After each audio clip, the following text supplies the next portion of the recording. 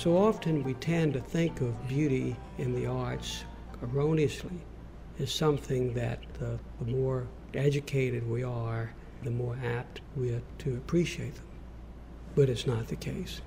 The arts, good urban design, insisting on beauty, great public spaces, when you do that, it's a gift to every citizen in every walk of life, everyone.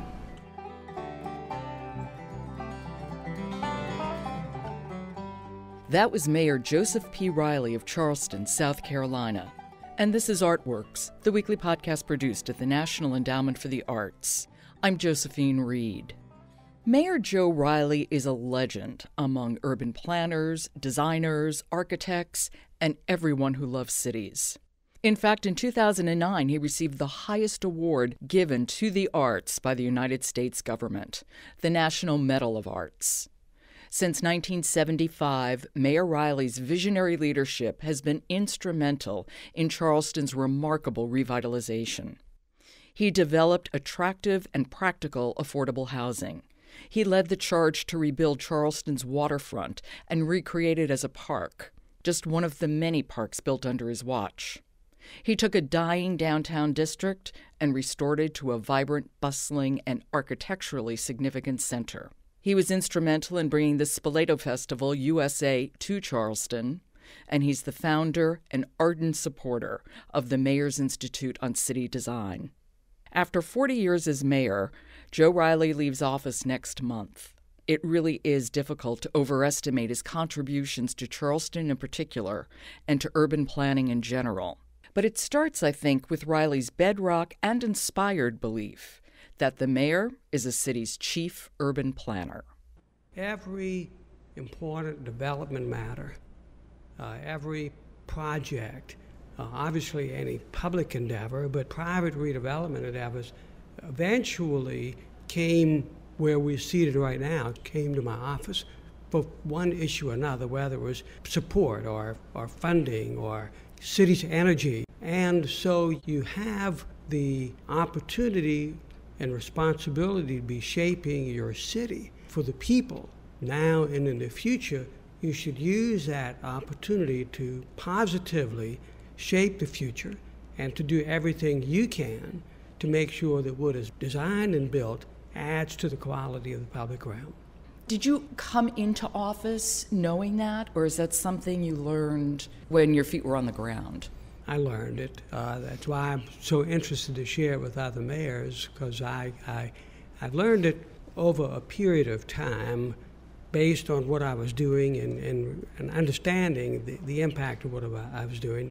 If you're the mayor and you're representing the people that elected you, you are responsible for them. And so you, you have the opportunity and responsibility to be shaping your city that the the design of the city, the public realm, enhanced everybody's quality of life in that city.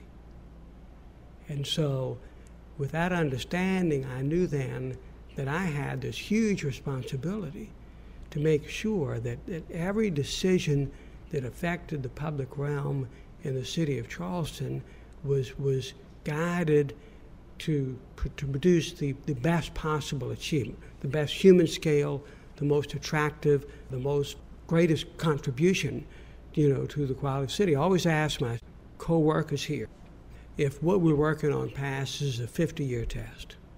That is, 50 years from now, will what we're doing be admired and revered? Or is there a chance 50 years from now people say, why in the world did they do that? Or why didn't they do this? So it was that felt understanding that you have the power and the responsibility to, to shape the future of the city. For you, the belief was, and please correct me if I'm wrong, but that you invest in public spaces for public use, and then private development, private investment will follow that, as opposed to the way it typically goes, which is private development and what's ever left over the public gets to have you start with the public. And actually, in a city, in an urban place, it's really all affecting the public realm. That is, if you walk down a street, the design of the buildings, the placement of the buildings, and the uses of the building affect your sense of the quality of where you are. So, but you, you start with the public, but then you should work in helping shape the quality of the private development. Not that that isn't the private property owner's responsibility or opportunity, but in, in a redeveloping city, those private developments usually are coming to the city for some help, you know, whether it's parking or, or infrastructure. And so that, that's the extra step is that you use that leverage you have to make something excellent happen as best you can. Don't leave it to chance. How did you begin? You wanted you- Charleston to be a great city. Where did you begin? Well, you, you begin with a good, solid strategic plan. Now, that sounds boring, oh, a plan.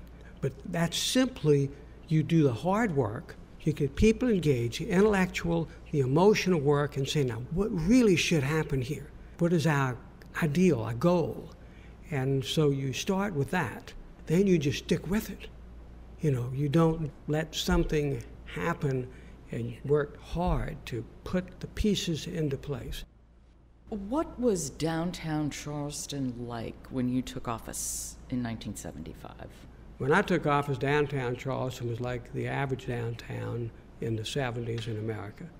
Great disinvestment. The shops moved, suburbanization happened, people left, businesses left. Our Main Street, King Street was, well, it was like this. I was elected just before Christmas. So the week before Christmas, I went to do my Christmas shopping dutifully on the old Main Street, King Street. I parked behind a building, as you did, walked through the building, turned up the street. There was no one on the street. It was empty. So it was a classic disinvested downtown in America. And our responsibility had to be, and our goal was, to restore this to a place that was active and lively because you know a healthy downtown is a wonderful gift to the citizens because you own it so if you come there and if it's lively then all that energy you as a citizen whether you're rich or poor young or old doesn't matter you, that, that benefits you What was the first big project in downtown that really kind of set It King the- Street the, motion? The first big project was what is called Charleston Place. And it was an intersection of King Street and Market Street and another parallel street. It was a vacant lot. When I was a child, there were two department stores there. Huge vacant lot from block to block. You know, like bombed out after war or something like that. And so our strategic plan said we needed critical mass. That means lots of activity, lots of people. What was going on then was a suburban shopping center. Suburban development was sparse. We needed dense development right in the heart of the city because what you need in a sick downtown is you need people on the street, lots of people on the street. So Charleston Place was at, we, you know, it was controversial. People said, ruin Charleston, no one would want to come, and, you know, all you have is T-shirts, shops, and all this. But we knew, because we'd done the plan, careful study, we knew it would work, and that was it. Took a number of years, a huge investment. I grew up in New York City, and when I think of cities that I love, it's always walkability. Always. Do I want to walk? That's right, that's right. And this is a walking city, but you really designed it. You really had pedestrians rather than cars in Yeah, mind. it was a city. A city should be for people, and it is an ecosystem. So it is in the design of the buildings, in the uses to promote that pedestrian activity, and then a city comes back to life, and then people who there have the energy. You know, you walk down the street, you make eye contact, elbow contact, you see the excitement of people visiting or shopping and all of that. You, you internalize that. It's, it's a joyful experience, and, and cities, cities need to be bustling with people. And, and car, you have to find ways to accommodate cars, of course. But we, we in our parking design or parking structures, I think we showed the country that they didn't have to be ugly and they didn't have to be brutal. You could tuck them away or, or design them in a fashion that didn't diminish the intimacy of the street, the human scale of the street. You also expanded the sidewalk on Market Street, giving the pedestrians more room and automobiles less. The question is how does a human being feel walking down the street? That's the question. So with this street, it was narrow and the sidewalks were narrow, but to make it work, to get storefronts in, we needed to widen the sidewalks, which meant that the street had to become a bit more narrow. So the first reaction to that was no, you shouldn't do that because right now a beer truck can park illegally in one lane and a car can pass it in another. But I realized that it, the most important thing really wasn't the convenience of the beer delivery truck because they can go around the block. Its question is, how does it feel walking down the street? So we added two feet to the sidewalk, and it's all the difference in the world. And you feel good walking down it, and we, you know, with, with the, that same street, just uh, another block of it, we had an office building that was going to be built, and they needed some land from the city. And so I said, we'll save the land, but we need some storefronts. And they said, no, we just want to do office building. And I said, no, if you just do office building, I don't get any pedestrian activity because it becomes a dead space. So I said, you got to do storefronts. Well, you know, had them, so they did storefronts. Urban spaces are very delicate in terms of human experience, and, and that should be in the forefront. And part of that human experience is appreciating the scale of what's there and not sticking a 50 story behemoth on a street where everything else is two stories. Well, you know, when I see, uh, you know, another city, a plan, and so and so building is going to be built, a tall building. But I always ask myself this question I wonder what it's going to look like at the sidewalk level. That's the most important thing. You know, people all they, they want to show you what the top of the building is going to look like. Well, maybe somebody will notice that. If you're in a helicopter, you notice that. But what everybody notices is what it feels like on the street. That's the most important design element of city building is what happens at the street level because that means how the human being feels when they're walking past it. Well, one thing that's certainly happening on the street level of your city of Charleston is Waterfront Park. Take us through that. Going back to the mayor being the chief urban designer for the citizens, uh, that was a burned out pier in the 50s. It languished. And then a developer bought the land to build a private gated thing, Venice of the Southeast. And this is a gorgeous site. And what I knew was that great cities in the world, always when they had a chance, gave the water's edge to the public, if they had a chance.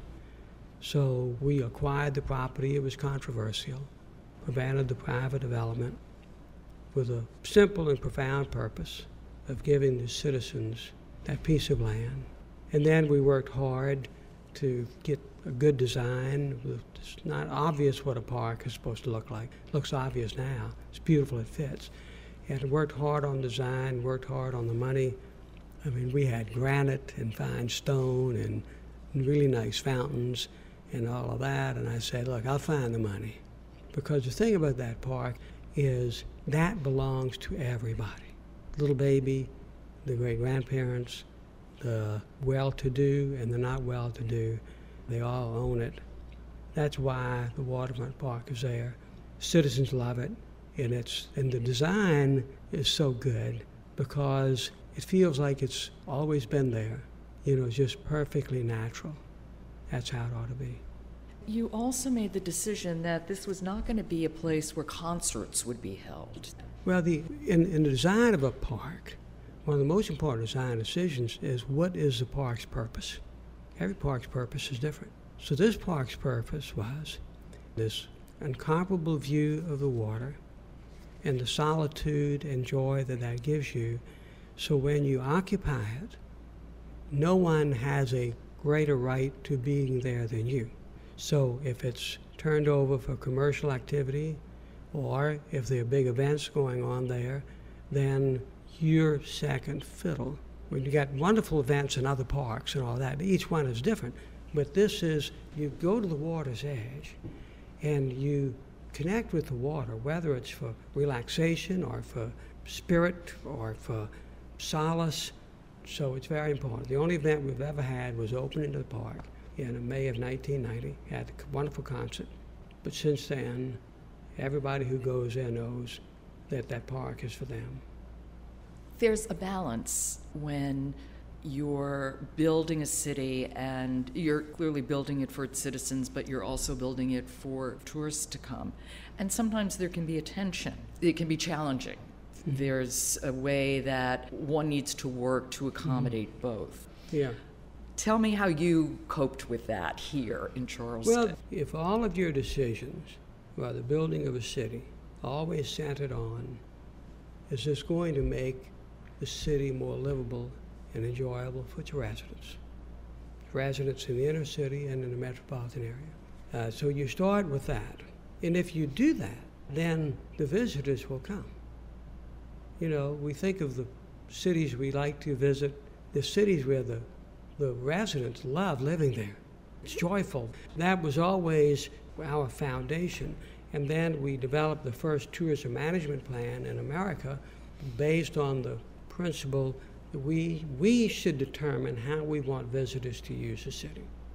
So, where visitor accommodation should go and should not go, how many carriages we ought to have, and what routes they should have, and what times they should run, and, and, and all of those kinds of things. So, we have a robust visitor accommodations economy in the city of Charleston. That is a lot of number of hotels and motels, but not nearly as much as we could have. We zone property to prevent them certain places. Our waterfront isn't lined with tall hotels. Why? Because we zoned it so you couldn't do that. Because we wanted it for the public, and so you keep that balance. It's all aimed at making the city a livable place for people who live there and work there. And then when you do that, you make it ever more appealing for the visitor because there are not many places like that. Spoleto certainly fit into this philosophy you had about Charleston, your vision for Charleston. Explain why you thought of Spoleto. Well, of course, the National Endowment for the Arts gets credit for Spoleto happening because they gave a grant to Giancarlo Menotti to help him find a place in America and then made major grants for our first festival and festival since then. But for me, what I saw was that it was a chance to be a great city. Great city has nothing to do with international prominence or any numbers of peoples or anything like that. It's just city doing something worthwhile, benefits itself and others.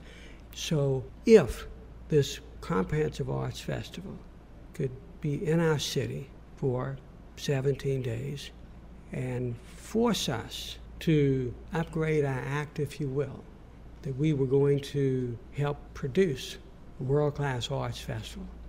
Really at the top of our game, accept that responsibility, and was always a chance of failure. Then, if we did that for the city, the dividends would be huge. I knew that it would robustly add to the quality and quantity of arts performances and organizations. And it's interesting, some of the local arts groups resisted Spoleto because they saw it as a zero sum game that would take audiences away. I said, it's going to build audiences. You bring something like this, the symphony will have more patrons and the, the art galleries have more patrons. Without Spoleto, Festival USA, Charleston would be a very different place because it did all that. And then people came to our city and, and saw the energy of the city and the, the beauty of the city more robust with this comprehensive arts festival going on. And then it just, you know, got better and better. And you also created Piccolo Spoleto. We did. But Menotti knew that a great arts festival needs to be something that the whole city embraces. And so the first year we had what we call mini festivals, a little side festival here and there, and then we came up with the, the concept of piccolo. And, and the, uh, the endowment was very helpful in that as well. So lots of the piccolo Spoleto's performances are free in public spaces or very low. So any citizen of the metropolitan area they feel like they can participate in it. Because, you know, overall there's like 650 performances going on, Spoleto and Piccolo Spoleto. Then the whole community are engaged in it. You know, we have concerts on the steps of our customs house that overlooks the harbor.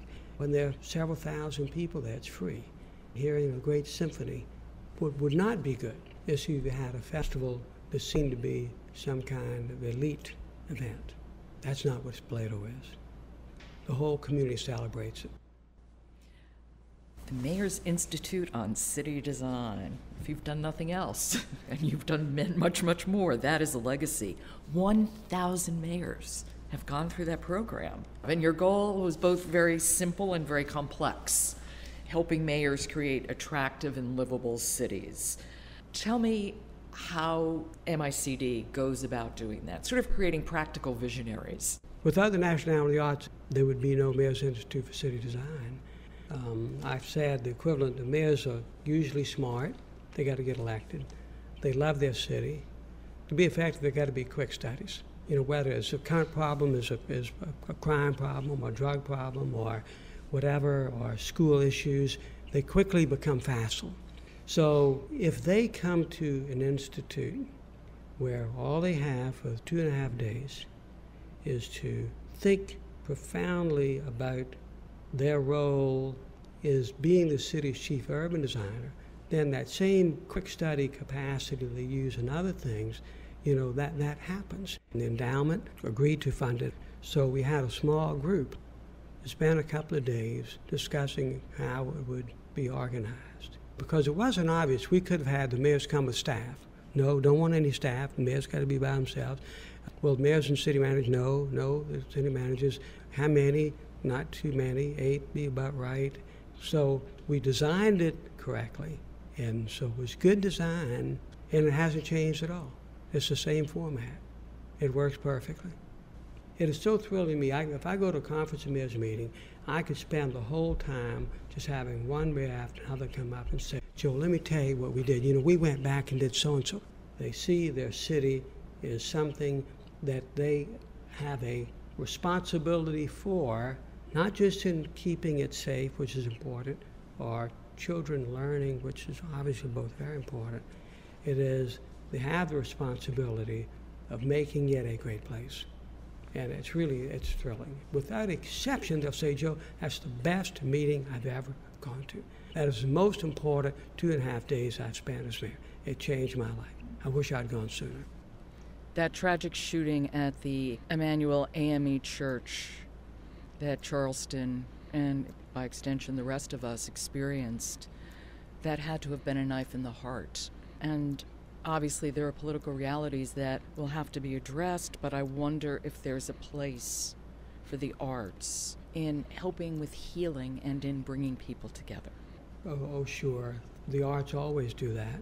And of course, one of the things that we were working on anyway already was uh, raising the funds to build the International African American Museum. Yeah, I was going to ask you. And um, which we will build, in this tragedy helps affirm the purpose for that. The purpose for that was that we as Americans do not know this volume of American history, African American history. We don't know it because a good bit of it was never written, and we certainly were never taught it in school.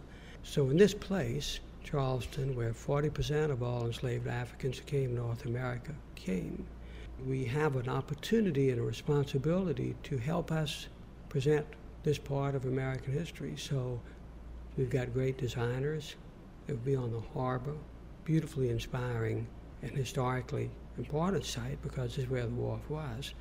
The arts, the art of architecture, the art of programming, the art of telling stories, uh, the art of landscape, beauty landscape, all of that will help create an amazingly instructive and healing place. It's your 40th year in office, and it's the 50th anniversary of the NEA. You've mentioned it certainly throughout this conversation how the NEA has supported your work and your vision for Charleston. Well, without, without the NEA, Charleston would be different, and, and America would be different. You know, we're a young nation. So, developing our culture, the American culture, and, and the American arts component of our culture. It's been so vitally important that there be a national home for supporting ideas, initiatives, creating opportunity for communities to solicit assistance. In Charleston, whether it's Spoleto Festival, design grants that we've gotten, the support our symphony orchestra has gotten, other arts entities, and certainly we've benefited from the Mayor's Institute of City Design. But without the National Endowment for the Arts, this would be a different city. That small federal agency has really changed our country in so, in so many wonderful and positive ways. I know you have had many experiences in the wonderful spaces you've helped create in Charleston, but I wonder if there is one that you can share that might have been particularly memorable for you. You know, something you even saw on a walk or maybe a performance, just something that just hit you about what you and the people of Charleston have created here. Well, when the, uh, the Waterfront Park was first being built, we did a one part of it, at the, the first part, a little pier. And I was uh, going by there one morning, sunup, I was jogging, and uh, saw this man there sitting with his legs draped over the wharf. And I didn't bother him, I kept jogging. Uh, but I saw him a few weeks later, and he was, uh, I knew him, he was very poor. He suffered from epilepsy. He rode a bicycle and shine shoes, and I saw him and I said, I saw you at the park the other morning. And he said, Yeah, Joe. I said, Do you go often? It hadn't been open that long. And he said, I go every morning. And I said, Why? He said, Because it's so beautiful. And so that, you know, you might say was a citizen with as fewer resources as anyone in the community. And so often we tend to think of beauty in the arts erroneously as something that the, the more educated we are, the more apt we are to appreciate them. But it's not the case. And that, that just reinforced to me in all of my work since then, this was quite a while ago, was that the arts, good urban design, insisting on beauty, great public spaces, and more, that when you do that, it's a gift to every citizen in every walk of life, everyone. Mayor Riley, thank you for your time, for everything. Seriously, thank you so much. Thank you. You're A really pleasure. a hero of mine, so Well, thank, thank you. That was Charleston's mayor and 2009 National Medal of Arts recipient, Joe Riley. You've been listening to Artworks, produced at the National Endowment for the Arts. To find out how art works in communities across the country, keep checking the Artworks blog or follow us at NEA Arts on Twitter.